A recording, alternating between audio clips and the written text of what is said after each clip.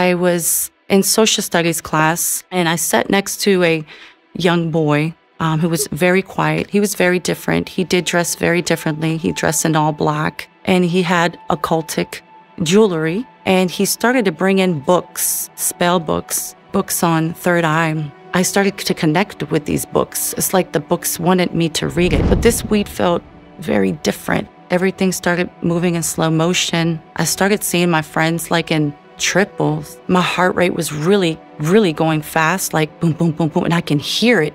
And then I could hear my heartbeat go boom, boom, boom, boom, boom. And I collapsed. It's like God was extending his love, his mercy, his grace over me and said, Daughter, I hear you. I've been trying to get your attention, but you haven't listened to me. Now, are you ready? I am real. And I said, God, yes, I'm ready. I'm ready. Help me. Growing up, um, I can remember from a very young age that we grew up in a Christian household. Um, both my parents are Christian. Um, they migrated from Bogota, Colombia, here to Washington, D.C. Um, they had me and my sister. Um, so it's just my sister and I. And we grew up in the state of Maryland. And my whole life, I could just remember just Jesus. My whole childhood was just Jesus. Um, my parents would take us to church every Sunday. And I remember my mom would dress us in these beautiful church dresses, my sister and I in these matching church dresses with the hats and the cute little shoes. And I remember uh, just loving to go to the children's ministry to learn about Jesus. And we had arts and crafts, and they would have reading time, and they would sing to us the Christian hymns then.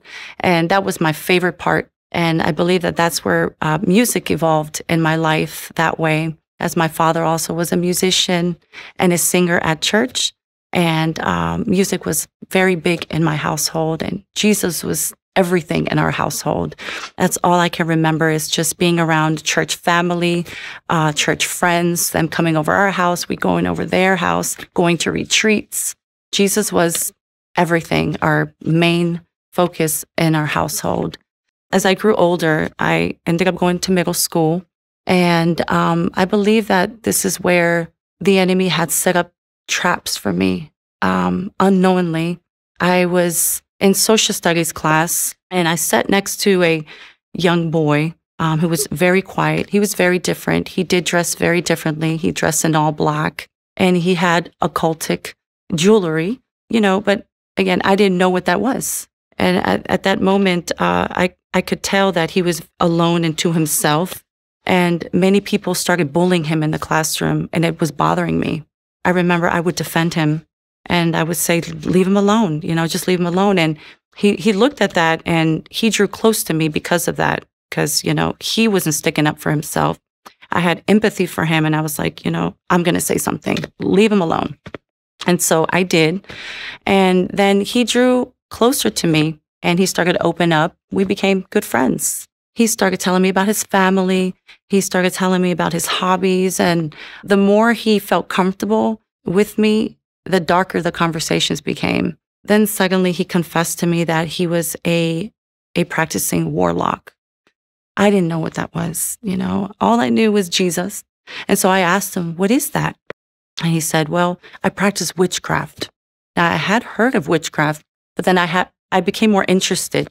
So what does that mean? So what do you do? And so he started answering my questions. And I noticed that I started to become curious and because of this, he knew I was becoming curious and he started to bring in books, pretty dark books, um, spell books, books on third eye, books about necromancy, speaking to the dead, hmm. horoscopes. I never forget, he said, This is the Bible. And it was a satanic Bible he brought in from Anton LaVey. I'll never forget. And it looked pretty, it looked dark. I couldn't believe it. You know, this is all brand new to my ears. I'd never seen this before. You know, this was a trap of the enemy, you know, to confuse me, to divert me from God because of the curiosity um, and the questions that I had. I, I was to begin with very curious. I wanted to know more. And so he said, Here, keep the books. So I'll never forget. I put them in my backpack. I went home and I started reading them. deep down inside, I knew it was bad because I was hiding them. I was hiding them from my parents. I started to get a little upset at my parents because I felt that my parents kept me in this bubble. They didn't want us to know about anything else but about Jesus. And so, you know, I, I, was I was angry. Like, why didn't they ever tell me about witchcraft? Why didn't they ever tell me about, you know, sorcery and all this stuff? You know, why am I just finding out about this stuff in school? You know, it, it made me feel like stupid. You know, kind of dumb he was even he even laughed at me. My my friend in social studies like, "What do you mean you don't know what that is?" I didn't, and so I started reading the books at home, and I noticed a fear began. I started to feel fear, and I would close up the books. But the more fear, I don't know for some reason, I started to connect with these books. It's like the books wanted me to read it, and then the more I read them, the darker they became, and the more interested I became. I became almost like obsessed with knowing what this occult, knowing about spells, knowing about horoscopes, knowing about astral projection, all this stuff. And so, you know, this was a huge, huge trap from the enemy. Shortly after that, there was this movie that came out that summer. I'll never forget. It was called The Craft. And it was about four teenage girls. They were like in Catholic school and um, they were dabbling in witchcraft. And so this was like the hot movie then. And so after that, by watching that, I didn't know that our eyes are a gateway, you know, and because I watched that movie, that got me more into horror movies. It got me more into wanting to read more and dive in. Oh, it, it looks so cool. They they project it to look so cool, and um, I watched it, and it just it it drew me more curious, more obsessed. Mm. And so then I started asking my friend, more questions, and he always had the answers. After this, I believe that by opening this door, I opened doors of fear by reading these books, doors of um, like an addiction, a curiosity. And um, shortly after this, you know, we're in lunchroom, and my friend brings in this like cardboard, and it's a Ouija board, but he made it. And so then he starts showing it to me. He's and all the kids come around and he's showing us how to use it. And I'm like, this is crazy, you know? This, this guy, you know, he's making this up, you know? And he he had a pencil that and the pencil would move. Mm. And and I was like, this this is weird, you know? And again, I became more curious, like, what is this? Then he starts telling me, well, this is not the real thing. I made it. But the real board is at Toys R Us. And you know, then Toys R Us was whew, super popular. Wow. And we had all the board games, you know, growing up. I had Twister, uh, Hungry Hippo, Operation, twi- uh, all sorts of like the toys that come with the board games. And we had them all, my sister and I. And so I told my parents, I was like, Mom, Dad, I want to get another board game. Oh, okay. So they took me, you know, they, they didn't know. They're just thinking we're adding another board game to the collection. And I'm thinking the same thing, you know. I didn't see maybe anything bad with the board. So I remember getting to Toys R Us. I bought the board. We brought it back home. And and really quick, Andrea, when sure. when you're when you were buying this board, yeah. your parents may not have known what they were taking you for, but yeah. did they get an opportunity to see it? Did they know what they was, considering that they were all Christians and you guys yeah. grew in a Christian environment? No, unfortunately, they did not know. You know, again, we had so many board games. Mm. Um, the latest board games, the latest games, they always got us the, the best games, you know, and they said, oh, this is just another game to, to their collection. Wow. And no, unknowingly, you know, this board game looks like the regular board game and it's in the kids section wow. you know and so they they didn't see anything uh, they didn't make anything of it and um, you know i don't think our, our, church was teaching us that you know um, and you know they innocently you know bought me this game i took it home and I didn't play with it right away, but I invited some friends to play to come over and play with it. We played with it. And I remember that my sister wanted no part of it. It's like my sister had discernment. My sister was like, Yeah, I don't know about that. This, doesn't look right, doesn't sound right, doesn't feel right. And then I was like, Oh, whatever, you know, I, I just ignored her. And she's my youngest sister. She doesn't know what she's talking about. So, but then we played with it. And then I became really fascinated with it. But I didn't want to play with it alone until after playing with it the first time with friends, that night I had a dream that I was playing it by myself. It's like the dream was telling me, play with it. Just play. You can play with it by yourself. You don't need friends to play with it. The next day, I come home from school and I took the board and I started playing with it. Ever since I did that, I became obsessed with it. It was like I drew a connection with it and it was like connected with me. I was connected with it. I couldn't stop thinking about the board, even at school. And it was crazy because I was serving in the church choir and all I could think about while I was singing was this board. It was like it was calling me. I was becoming possessed by the board game.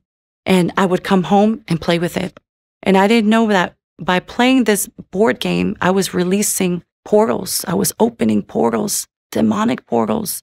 I was opening doors of spirit of addiction, of fear, of, you know, um, anxiety and panic attacks and so many more things, you know, that led down a, a rabbit hole that led me down a dark path you know, after this. Now, Andrea, before mm-hmm. you move on in, into even the effects sure. of, of, yeah. of, this, um, you know, obviously you looking back now, you can see the open doors, you can see the the harm that it caused and, and people will get to hear that here in a second yes. of, of the harm that came. But when, when you were when you were playing as a child, and and obviously uh, I want to be careful with the information that we give, but yes, but genuinely, can you share with us innocently or what were you doing with this board? What were the questions that you were asking? What were you doing? Because in your mind, it was you were just playing, right? What did that look like for you personally? Sure. So you know, it started it started telling me to ask it certain questions. I can remember that it was also speaking in a different language. I would write down the the the words and it was like latin. It was like different like weird um languages. And then it would start telling me about oh help this dead person. He wants to come out of his or his soul. He needs help because his soul is trapped or something like that. You know weird things. It just yeah it became really really um dark it was strange shortly after this i started having sleep paralysis mm. um i felt a hand covering my mouth and my nose and I couldn't breathe. I started seeing dark shadows. I started hearing voices. I started having nightmares. Then I saw footprints coming over my bed, my bed being shaken. I mean, I was in fear. And I would tell my mom, it's like my mom believed me and she would say, Mommy, whenever you feel scared, just say, God, help me. Okay? Jesus, help me. And so then I remember that. And I said, Mom, but you don't understand, Mom. I'm really scared. I need your help. Can I sleep with you? Okay, come sleep with me. But I couldn't sleep with her all the time, you know? So then one night it got really bad, the sleep paralysis. Um, and I felt like they were like choking me and I couldn't breathe. And I said, Jesus, help me. And then all of a sudden I felt like a relief, like it got quiet. And I said, and I put two and two together. I said, oh my God, this worked when if I say Jesus, it, it, it worked, but it just progressively got worse. And then one day when I said enough is enough with this board, I was playing with it and it said, it said to me, I want you to kill your mother, your father, and your sister, and then come with us. And I said, Oh, heck no. I took the board, I broke it, I started cursing at it. My sister came in the room because I was all loud, and she's like, Man, what's wrong with you? I'm going to tell mom, you're possessed. You need to stop playing that game. What happened? I, I said, forget this. I took it myself to the trash. I didn't tell my parents. I didn't tell my sister. I took it to the trash and I came back. I went to school the next day. I come back home and that board is sitting on my bed in one piece. Someone or something put it back in the room that point, I thought I was going crazy. I thought I was hallucinating. It was playing tricks on me. I told my mom. She didn't believe me. No one believed me. I became so fearful. I took the board and then I knew that the board and the books were connected in some way, somehow they were evil. Mm. And so I took them and I burned them. I said, I'm burning this stuff. As I was burning them, I felt a relief. I felt a peace, but I didn't know that I was going to be um, attacked that night. My bed was shaken. They choked me. And again, I screamed, I screamed again, God help me, save me. Again, they they released, they they came off of me. After this, I started having the sleep paralysis, but it became less and less because I knew that every time I said Jesus, it would stop. Shortly after this, I became rebellious. I started skipping school. I started drinking. They, I was introduced to drugs, alcohol. I was starting to, talk back to my parents a lot. There was a lot of arguments in the house between me and my parents and my sister. I started fighting with my sister a lot. You know, it was just, it was, it, it became chaotic, you know, it wasn't normal. And it, it came to a point where I didn't care about anything. Like, like you became like almost like, like powerful, like, you know, you felt like you were a gangster, like whatever, you know. I, I, then I started fighting in, in, in school. I got kicked out of two, two schools because I started fighting. After this, I was introduced to a boy who would change my life. He became my first boyfriend. And my parents found out about the relationship and they said, You have to break that up, up because you are way too young, young lady, to have a boyfriend. And so I didn't, you know, I was rebellious and I kept the relationship and they thought I broke up with him. After this, my parents were planning to already move us somewhere else to kind of start fresh, start new after all that was happening in the house. We ended up moving. I remember it was my freshman year and it was pretty far away from where, um, you know, we had lived. And my sister and I, we, we hated the place. We hated the new place. It was a very nice area. And I get it. My parents wanted the best for us. Um, we started a new school and, you know, I had no friends. We were the minority. It was so different. I remember heading to school, all you could see was cows and roosters and llamas. And it was just completely different. You know, still keeping us away, I still kept my relationship with my boyfriend. And shortly after this, a few months later, one of my girlfriends from my old school that goes to the same school as my boyfriend calls me and tells me that my boyfriend had um, cheated on me. So I confronted him. He denied it. And um, I broke it off with him. You know, I was completely devastated. I was heartbroken. It was my first boyfriend. And so I thought it was love, but it was puppy love. I tried to keep my mind off of the situation. And I went to the mall with my girlfriends and we would go to parties. Um, and one night I ended up going to a, a party and I was drinking. My friends were passing around a blunt. We were smoking, but this weed felt very different. Like everything started moving in slow motion. I started seeing my friends like in triples. And I've smoked weed before and it never felt like that. And then I started slurring my words. My heart rate was really, really going fast, like boom, boom, boom, boom. And I can hear it. And I started seeing like black shadows. I went to the bathroom to go put some water on my face, you know, thinking maybe it was just me. I come back out and suddenly I start feeling my heart rate even like slowing down. And I told my friend, I said, girl, please call an ambulance. I feel like I'm about to pass out. And then I could hear my heartbeat go boom, boom, boom, boom, boom. And I collapsed. I fell to the ground. I don't remember what happened after that, but I, got, I ended up in the hospital. Sorry. I woke up the next day and um, I had IVs on my arms. And I said, you know, what happened? And then the doctor said, young lady, you are one lucky girl to be alive. What you consumed last night, you overdosed and um, you overdosed on PCP. Hmm. And I didn't know that the weed that we smoked was laced. It was really high levels of it. And how old were you at this time? I was I was 16 at the time. After this, when I wake, when I woke up, I said, God, why did you save me? I just wanted to die. My boyfriend had just cheated on me. I felt like everything I was doing was bad. I kept making my parents suffer. My mom would always cry, all that I was putting her through. I was so rebellious. I felt like I had no purpose.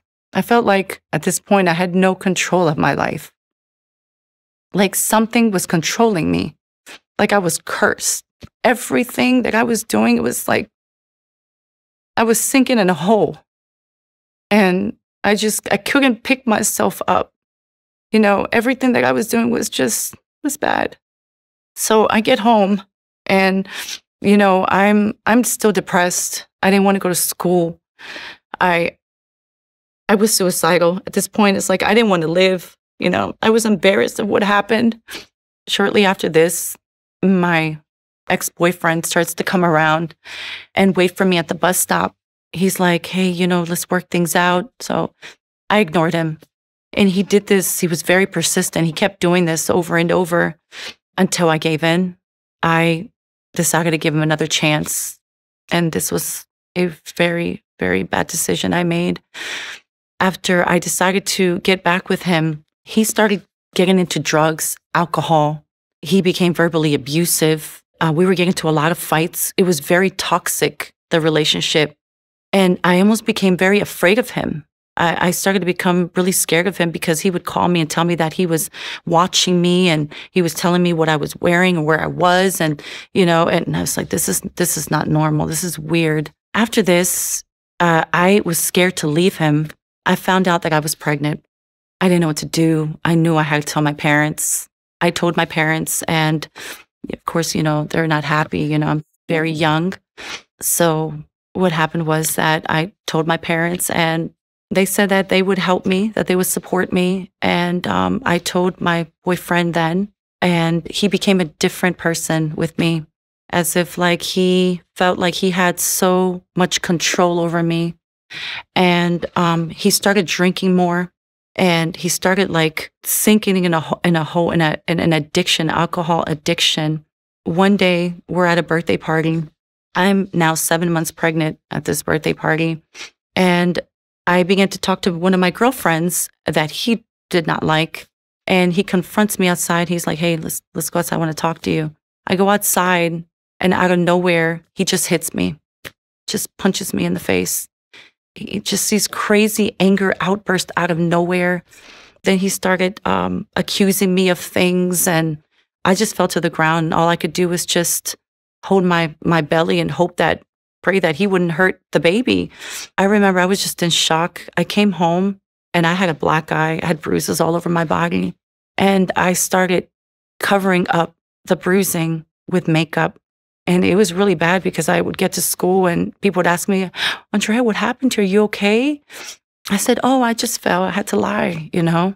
And I started covering up for him a lot. And it just became worse and worse. I wasn't getting along with my parents at home and I moved in with my boyfriend. That was a bad mistake. I moved in with him. And um, again, because he was like an alcoholic, I was witnessing him just going downhill. There was one particular evening that I put the I put the baby to sleep, and I um this I already had had the baby, and I went to sleep myself, and I could hear him come in, and so I would play off like I'm sleeping because I, I I was scared of him, and he comes in and he's messing around with drawers, he's opening up drawers, and then I could watch him, but I'm playing it off, and I'm I'm trying to sleep, you know, playing off like I'm sleeping. And then he grabs a gun. I could see a gun in his hand. And then I started to pray mentally God, help me. Help me, Lord. Help me, Lord. And then he comes over and he shakes me. And he's like, Hey, wake up. And he goes, He puts the gun on my head. He goes, If you ever leave me, I'm going to kill you. I, I, I, I, I was in fear. I didn't know what to do.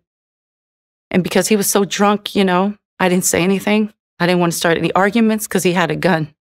I said, I'm, I'm going to die here tonight. And then I just started praying. I went in the other room with my baby. I just started praying. I said, Lord, help me. Get me out of this relationship or I'm going to die. Either it's going to be me or my daughter, or we're both going to die. God, help me. Get me out of this nightmare, Lord. After that, I decided to leave him for good. I called my parents, said, Mom, Dad, please, I need your help. Please come pick me up. They picked me up and I put a restraining order on him. And I didn't see him for several months. I cut off all contact with him, and he was not allowed to see the baby as well. Several months went by, and um, we heard that he was getting his act together, that he went to go seek some help. He was uh, supposedly going to church and he was going to AA meetings and um, he wanted to talk to me. Deep inside, I, at that time, I didn't know that that was called discernment. Something was telling me, don't, don't talk to him. But I didn't listen to that voice. And I know that that was the Holy Spirit already speaking to me. Even in the, the little bit of times that I called on God, and I was only calling him when I was in need of help that I regret so much. He listened and he was preparing me. And he was like, Daughter, don't talk to him. Don't talk to him anymore. But I didn't listen. And so he, he called me and he said, Andrea, I'd like to see the baby again. I want to see if we can maybe co parent. Why don't we go out to eat and maybe we could discuss something? I thought about it and I said, All right, you know, he hasn't seen the baby in a few months. So, okay. I said, Yeah, no problem. He's like, uh, do, do, you think I can pick you up tonight? And I said, Yeah, sure. Okay. We'll, go out and we'll, we'll talk. So he picks me up. Baby stayed home with my parents. And on our way, you know, we're, we're on our way to the restaurant and I know the way, but he takes a different route. And, you know, I didn't say anything at first, you know, but then all of a sudden we're in a, a, a different route where it's just a one way road and it's pitch dark. And all you could see is just his headlights. And for some reason, I began to feel fear. And I said, Hey, what way are you taking? He's silent. He doesn't say anything. I said, Hey, where are you taking me? And all of a sudden, he locks the doors and he goes in this like deserted like field, like a dark, huge field is pitch dark. And then I'm scared. I'm trying to open the door and then he comes over, he grabs me, he just punches me. I'm laid out cold. I'm trying to regain consciousness because I could hear him. And he's he, he keeps he keeps um, punching me. All I can remember was that he comes around out of the car. He grabs my, my body. He takes my, my body out in the middle of a field and it's muddy. I can remember it was muddy and it was cold. And then he just lays me right there. And I'm weak. I can't, I can't regain my strength. I'm, I'm, I'm really weak. And then he continues to hit me. All of a sudden, I begin to pray. And I'll never forget Psalm 90, 91 that my father taught my sister and I when you are in trouble, pray this prayer. And I began to pray it. And then I began to say, God, I do not want to die like this. I do not want to die like this, God. I have my daughter waiting for me at home, Lord. Help me, God. Save me, Lord. Help me. I cannot, I cannot um, uh, get up myself, God. Help me. And then all I could see was him getting back into the car and he's reversing. He's reversing. And I'm trying to regain my strength. And all of a sudden, he's coming towards me. The car is coming towards me. And I said, Jesus, help me. And then all of a sudden, out of nowhere, three men come. They grab my body and they pull me out of the way. I should have been dead that night. But God saved me. The Lord saved me. How can three men out of nowhere just be in the middle of a field like that? How? That's God. And I, will never forget. I um when they when they dragged my body, the guys they let me go. They grabbed him. They started punching him. They they they, they put him like um on a lock, like his hands behind his um his back, until the cops came. The cops came. They arrested him, and we had several um, court dates. And I told the judge, I said, Your Honor, if you let this man out of jail, he's going to kill me. He's going to kill me or my daughter. I fear for my life. Please, Your Honor, do something. And, you know, he looked at me with, with fear in his eyes, like he believed me. And then um, I found out that he was going to be deported to his country. He got deported. He was he served one year in jail, and they deported him back to his country. It was really rough you know, I lived in um, a lot of fear. I was very paranoid. I remember always coming out of my house, just looking behind my back to see if he was around. For some reason, I didn't believe that he was in jail. I still believed that he was going to come out and out of nowhere and just kill me. Or I lived with a lot of anxiety, a lot of panic attacks. I remember calling the ambulance like every week. First time I called them, they said, honey, you're not having a heart attack. You're having a panic attack. No, no, you don't understand. My heart, my I, if I die, it's going to be from a heart attack. It's not a panic attack. And they did this two, three times, and they already knew, like it was me, honey. You are having a panic attack.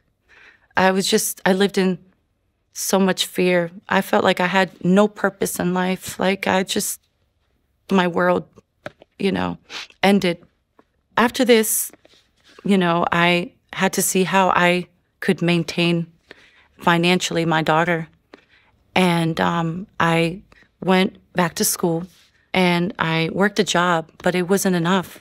I was introduced to a girlfriend.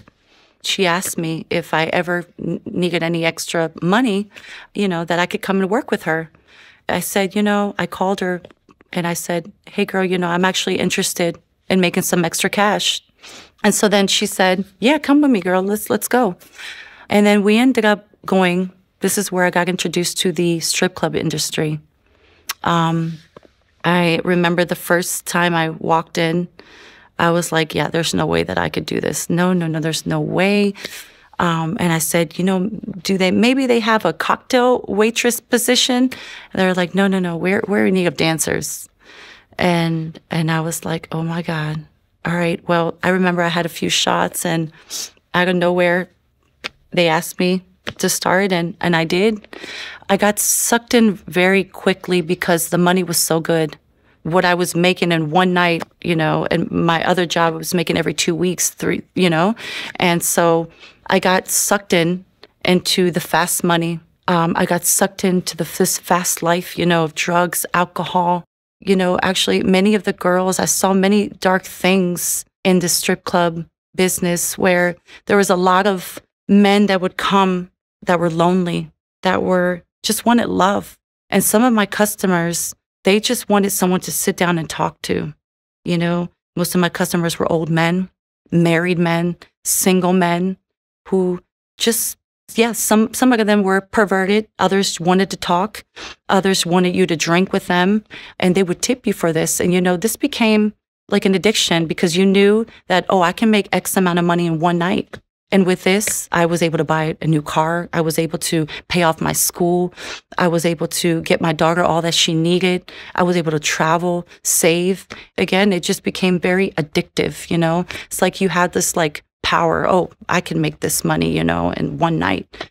But deep still inside, I was still depressed. I still felt alone. I still had anxiety. I still went home with issues, with problems. I had no peace in this industry. I got deeper into drugs. I got into ecstasy. I got into cocaine. And, you know, there were times I wasn't even sleeping, you know, because you were working doubles. So you, you had to be on coke or, or, or you had to drink to stay up, you know. It was a very dark environment, you know. Um, first, it looks so glamorous from the outside, but, but it's not. You know, many of the girls that work there are doing it because they're either just doing it for the money or they're addicted to, to sex or they're addicted to the power that it brings, you know, or they're addicted to drugs, alcohol, you know, and they just feel like they have no purpose in life. Now, I did meet some of the girls that they were full time students. Some of them were very smart. They would save their money and they would go. But many of the women there that I saw were from years of doing this, of just that they felt like they had no purpose in life, you know? So one day we go out drinking as a group and um, we're drinking. And after the night is over, I'm on my way home and I get pulled over by the cops. I get charged with DUI and second degree assault. The officers were pretty, uh, I felt that they were abusive with me, but you know, when you're intoxicated, you don't know what you're doing. So I ended up fighting them and um, they arrested me. I remember that I was in the back of the car and I, I was a mess. I was crying. I said, God, why? Why is my life so bad? I had this flashback of just everything that was happening in my life, one thing after another. And then I heard a voice say, When are you going to stop fighting me? when are you going to surrender your life to me? I started weeping and I said, Now, Lord, help me because I don't know how to change. And I remember I was just crying. I get to the, the, the jail, they put me in a jail cell by myself. And I remember it was cold. It was a cold concrete floor. And I was just like this, and I was just holding myself and I was crying. And I said, God, I don't know how to change. I want to change and I don't know how to. I felt like I, I, I have no control of my life, God. How are you going to change me? Everything that, my, that I do in my life is just goes bad. God help me, because if you're real, I do want to change. I want to get out of this life. If you're real, God, get me out of stripping. And I promise to serve you, God. And then all of a sudden, I'm like this, and I look up, and my, I was sober, like supernaturally. I said, This is so weird. This is so weird. You know, and I look up, and then I begin to just cry even more. And as I'm crying, I can feel the presence of the Holy Spirit in the room. I felt a, a tangible presence, like an electricity from the top of my head all the way to the soles of my feet. And I'm weeping even, even more because I knew this was the Holy Spirit because it was such a peace. It was like a holy presence. It was a tangible presence. Like I never experienced this. And I said, I've been waiting for this my whole life. I knew what fear felt like. I knew what anxiety felt like. I knew what panic attacks felt like. I knew what worry felt like, but this was different. It's like God was extending his love, his mercy, his grace over me and said, Daughter, I hear you. I've been trying to get your attention, but you haven't listened to me. Now, are you ready? I am real. And I'm touching you right here. And I said, God, yes, I'm ready. I'm ready. Help me. I want to get out of this lifestyle, Lord. Help me. And so I get out of jail the next day. Look at God. And I had just started talking to this boy who is my husband today. His mother-in-law asked him, "Hey, tell Andrea that there is a that there is a all women's um, retreat coming up next week." And I was like, "Wow, God heard me so quickly that He wants me to go to this retreat." And I said, "Tell your mom, yes, I'm gonna go." I'm going to go. And I told him about my, my, my experience. And I was actually so excited. Then, right then and there, I made the decision to, to stop. I stopped drinking. I stopped smoking. I stopped going to the club. I stopped that, that lifestyle. I'll never forget, I packed up my bags and I was so excited to experience God. I was so excited to feel what I felt in the jail cell again. And I remember it was like two hours away and it was an all girls. I didn't know any of the girls. And we get there. And the first night, the worship was so powerful. And all I could do was just lift up my hands and say, Thank you, Jesus. Thank you, Lord, for saving a wretch like me, for saving me, someone who was in darkness, someone who I thought you couldn't save. And look at me in your presence, God. And that night, I experienced his redemption. He saved me. He, he gave me a new name. He gave me hope. He gave me my purpose back. He said, Daughter, I do have a plan for you. I do have plans to prosper you and not to harm you, but to give you hope and a future. But just trust me and I did, and I wept. And I remember I got delivered. I started throwing up. I started coughing. You know, I started weeping. And it was the most amazing experience ever of my life was giving my life to Christ. It was such a transformation, you know. Um, yeah, that mm. is my my story, my testimony. Andrea, how long have you been faithfully walking with Jesus now? About 13 years. Um, yeah, Eric. In the last uh, 13 years, like you mentioned, you know, all of the darkness that you were in. Talk to us about uh, the last 13 years and how the Lord has helped you, has redeemed you, you know, redeemed that time and um, even using you now, mm-hmm. you know, mm-hmm. to continue to share the gospel. What what has these last 13 years been like for you? So yes, um, when you give your life to, to the Lord, not everything becomes perfect, right? You must read the word, fast, pray to develop a relationship with him. And that's what I started doing. And along the the the path with the Lord, I went through trials, I went through tribulations. There were moments that I even questioned him, you know, Father, where are you? There were moments that he was very quiet. And I went through some things and many times that I felt like I, I, wanted to give up, but I knew that he was real because I would never forget that experience that I had with him. And so I kept pushing. And along those years, I lost my marriage. You know, even as a Christian, we got divorced and by the Lord's grace, you know, he put us back together and we got remarried. So the Lord still, he makes things easier because when when his word says, "Give me your burdens and I will give you rest." You know, you have something and someone to look forward to, your daddy to help you that you don't have to do it by yourself. That we have a heavenly Father who's helps us mm. uh, along the way through our, our tribulations and trials. I became a worship leader. I love singing for the Lord, and um, I play the guitar for the Lord as well. And He also gave me a a voice uh, studio to voice coach people, to voice coach worshipers and worship leaders and worship teams. And I go around in different churches and I go and I serve the Lord in that that area. And um, yeah, that's that's what I'm I'm I'm doing today. Yeah. Now, Andrea, you you mentioned uh, you know all of these open doors that came through uh, the witchcraft that yes. you practiced as a child when you look uh, did you have a moment in your mm-hmm. life after you know now walking with jesus where yeah. you had that moment of realization of what had happened what was that like to look back and realize whoa you know as, as far as the witchcraft and, and how did god help close those doors even mm. that once were open oh yes um after i gave my life to christ i looked back and i couldn't believe that i went through that when you draw closer to the lord you begin to want to hate what is evil. I started, you know, educating myself of what is it that the Lord dislikes, you know? And he says to expose it. You know, I started educating myself. I started reading about, you know, being delivered.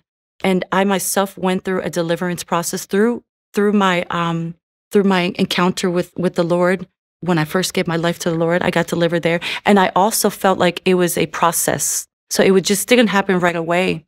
I also was, I felt like I was self delivered along the way. And it took a lot of fasting for me, you know, several months of fasting and just um, renouncing things from my life, you know, and I would buy books of, of how to, you know, renounce certain spirits that I had allowed in my life. And it really did help, you know. And by faith, many times I would drink a bottle of water and I would tell the Lord, Father, this is your blood. I'm going to drink this and you're going to deliver me from this. And that's, that's how I would, um, that was my, my process. Um, but slowly but surely the Lord helped me along the way with that. Andrea, who is Jesus to you? Hmm. Jesus is my Abba Father. Jesus is my Lord. He is my Savior. He is my rock. He is my Redeemer. He is the perfect Son of God. That's who Jesus is to me. Andrea, what is a word of advice that you would give to those people who are currently watching right now and are involved uh, with some of the darkness that you were involved in, specifically with witchcraft? You know, maybe playing with the Ouija board, or maybe they've played with the Ouija board mm. before and didn't even realize the damage that it was doing. What is a word of encouragement that you would give them as they're watching right now? I would say to please stay away from those things because they can cause you a lot of damage as it caused me. You know, it, it is very serious. It, it's very real. It's very dark and it's demonic. And um, just keep it away. Do not mess with these things because once you open these doors, only Jesus can free you. Only Jesus can save you. So it is not worth it. it is not worth it. So I would say stay away from that. And what would you say to the parents, right? Because uh, I think from yes um, before and the time in your testimony even to now, we've seen an increase and uh, more stores having yeah. this type of content. Barnes and Noble and different toy stores, Target, all of these different places. So, yes. for parents, what would be your advice now from a motherly perspective? Yes, definitely. Um, just be aware what you are buying your kids. You know, check in on them. Check, go in their room, see what they're doing. Listen, they don't pay the phone bill. Check their phone, see what's going on with them. You know, um, it's not about being overprotective. It's just listen, you know, we live in a in a dark world, and we need to be on top of our kids yeah. um, and talk to them a lot. Don't hide things from your kids. Just talk to them. Tell them what's good, what's bad. You know, and uh, always encourage them um, through the word. And um, yeah, I, I, that that that's my advice. Just yeah, yeah. And lastly, Andrea, what would you say uh, or what word of encouragement can you give to that person who is right now going through uh, abuse? Mm. You hmm. know, you found yourself in a place where um, you experienced this in your life yes. personally. So, for that person who's watching and is currently experiencing that in their life, what is a word of encouragement that you can offer to them? Sure.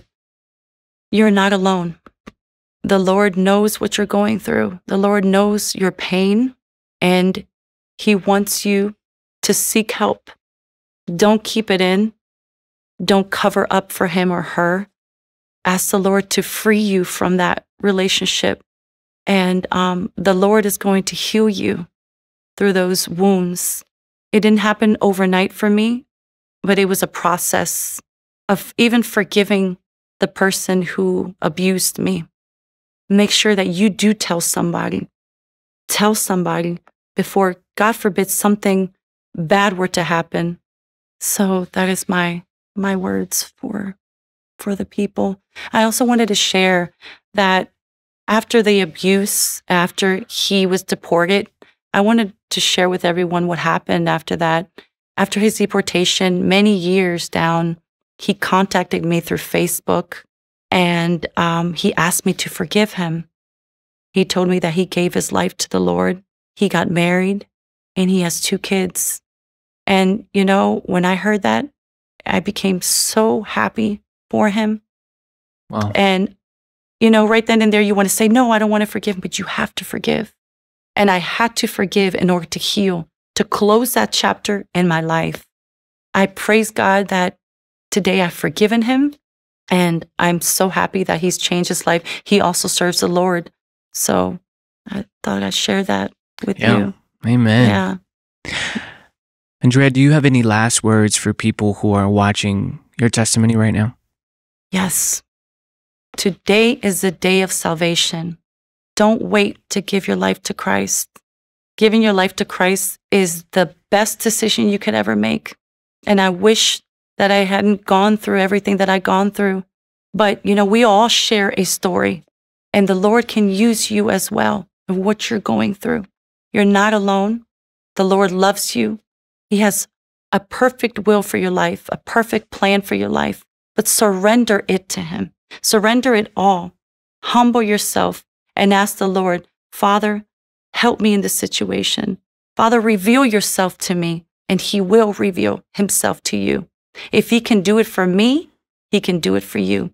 If, if I was, that I felt like I was a no one, let me tell you something. We are, we are daughters and sons of the Most High God, and He has an amazing plan for your life.